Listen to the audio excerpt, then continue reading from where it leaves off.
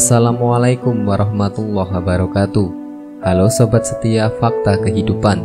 Tidak lupa kami sampaikan salam sehat, salam sejahtera, semoga tercurah segala bentuk kebaikan dan juga kita semua dalam lindungannya. Seperti biasa, kita akan berbagi kisah dari yang unik, menarik sampai bikin nangis. Mari kita simak kisahnya.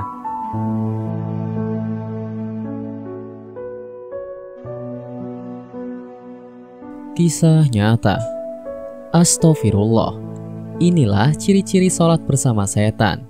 Salah satunya orang yang dalam sholatnya tergesa-gesa. Sebagai umat muslim kita harus melakukan ibadah kepada Allah. Salah satunya dengan beribadah sholat lima waktu. Seorang muslim yang taat pada ajaran agama dan taat kepada Allah subhanahu wa ta'ala Tidak akan melalaikan sholat lima waktu dan juga sunnah-sunnahnya. Mungkin masih banyak orang yang melakukan sholat masih dengan cara sekedarnya saja. Perlu diketahui, untuk melakukan sholat yaitu harus khusyuk. Khusyuk sendiri memiliki arti, yaitu kekuatan dari diri sendiri untuk melakukan suatu hal dengan niat yang sungguh-sungguh. Bahwa ada ciri-ciri orang yang ketika melakukan sholat ini bersama dengan setan di antaranya tipu daya setan datangnya kepada kita. Salah satunya saat melakukan sholat. Setan senantiasa akan mengganggu kita pada saat kita sholat, agar sholat yang kita kerjakan tidak sempurna.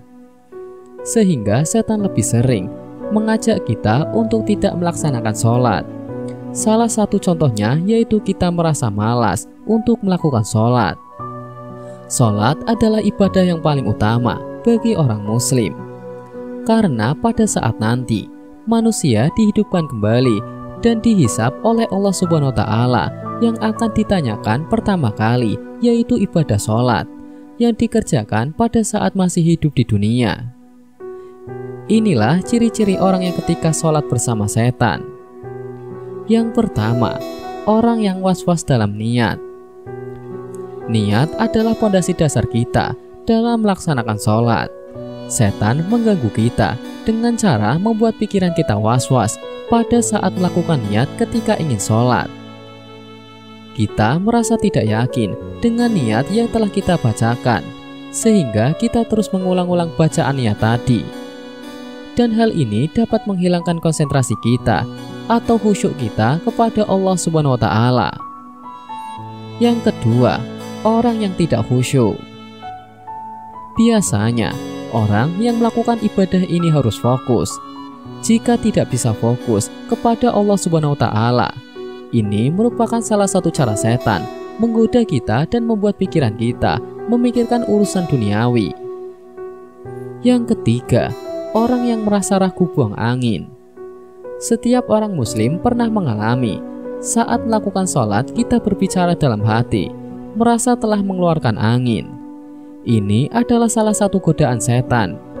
Dalam hadis diriwayatkan oleh hadis riwayat Ahmad bahwa Rasulullah pernah bersabda, "Jika salah seorang di antara kalian merasakan hal itu, maka janganlah membatalkan sholatnya hingga dia mendengar suatu atau mencium baunya tanpa ragu." Hadis riwayat Ahmad. Yang keempat, orang yang tidak fokus pada sholatnya. Setan mencuri perhatian manusia dengan membuat seseorang menengok ke sana kemari. Banyak bergerak dan selalu terbayang hal-hal duniawi. Yang kelima, orang yang sholatnya tergesa-gesa. Salah satu yang sangat dilarang saat melakukan sholat adalah tergesa-gesa pada waktu melakukan sholat, sehingga tidak mendapat kenikmatan dari setiap rokaatnya. Rasulullah bersabda, dalam sebuah hadis yang diriwayatkan oleh hadis riwayat Ahmad. Rasulullah Shallallahu Alaihi Wasallam bersabda, sejahat-jahatnya pencuri adalah yang mencuri dari sholatnya. Para sahabat bertanya, wahai Rasulullah, bagaimana mencuri sholat dari sholat?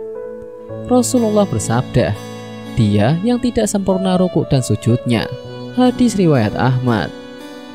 Yang keenam, wanita yang sholat ke masjid menggunakan parfum. Memakai wangi-wangian bagi wanita saat pergi ke masjid adalah salah satu hal yang tidak diperbolehkan oleh Rasulullah. Sebagaimana yang disabdakan dalam sebuah hadis yang diriwayatkan hadis riwayat Muslim. Rasulullah Shallallahu alaihi wasallam bersabda, "Jika salah satu dari kalian para wanita hendak ke masjid, maka janganlah sekali-kali menyentuh sewangian." Hadis riwayat Muslim setan akan melakukan segala cara agar sholat yang kita kerjakan tidak berjalan dengan sempurna. Ada saja tingkah setan membuat sholat kita tidak khusyuk. Maka dari itu, kita harus belajar lebih fokus saat melakukan ibadah sholat tanpa memikirkan duniawi dan harus fokus kepada niatan awal kita untuk sholat kepada Allah Subhanahu wa Ta'ala. Itulah ciri-ciri sholat bersama setan. Semoga kisah di atas bisa menjadi pelajaran untuk kita semua.